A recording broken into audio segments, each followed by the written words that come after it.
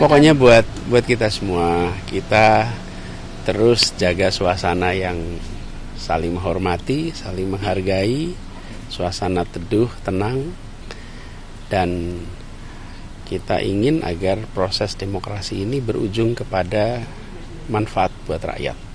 bukan manfaat buat segelintir orang, bukan manfaat hanya untuk elit, ya, gitu ya. Oke,